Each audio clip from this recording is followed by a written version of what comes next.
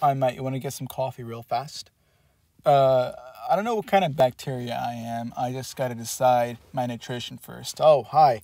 Today we're going to talk about bacteria nutrition. There, there are basically four different possibilities, and and this really boils down. It came chemoautotrophs, chemoheterotrophs, uh, photoautotrophs, photoheterotrophs, and and really once you break this down into understanding the two factors that we use to classify the bacteria, it'll be very easy to understand this. It'll be very, very simple. So let's get into it.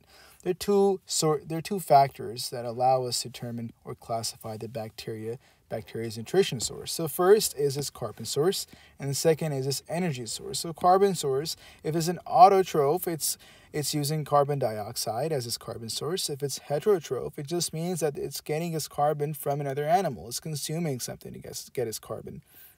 And then we have and the energy source, which means that if it's if it's a chemotroph, it's get, it's getting its energy from chemicals, and if it's an energy source, if its energy source is from sunlight, it's called a phototroph. And and remember that the, the word troph is in Latin just translates for eat, so that makes that makes sense. And remember when we come down to these words over here, these these seemingly confusing words, just remember that these suffixes the first suffix that comes inside is the reference to the energy source, and the second sub, uh, suffix that comes inside is the carbon source. So they're totally, uh, so let's think about it. We can have a chemo autotroph. Now that would mean, whoops, look at that. That would mean that the carbon source itself, or let's start with the energy source, is from the is from the chemicals itself, and the auto auto just stands for the carbon dioxide, is being used to as a carbon source. So it's essentially building its organic macromolecules from carbon dioxides using the energy from from chemicals. And and you could probably understand this now. This is the same word, and the only difference is the hetero. And the only difference essentially is that it's getting its carbon from animals.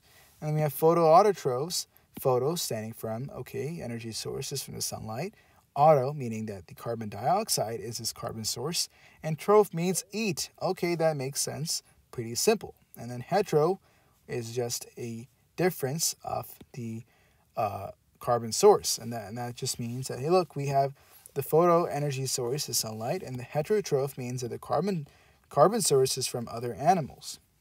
Very simple. So here is a question that will hopefully help us understand your if we understand this or not. So, a bacteria causes infection in reptile blood. Based on this information, what kind of bacteria is this? Okay. Well, let's think about it.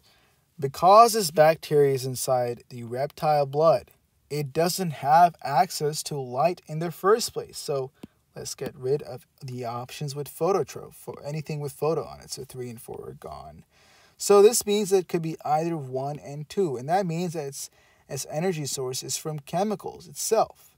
But we also realize that it's inside that it's inside the the inside a living organism. So it's it can be auto because it's not using carbon dioxide. It's probably using the reptiles, the reptiles uh, carbon. So there you go, hetero. So it's going to be chemo heterotroph because it's using chemicals as an energy source, and it's using is use is basically a parasite. Really, it's it's just using the bacteria, uh, or it's just using the reptiles reptiles uh, body as a source of energy and also a carbon source.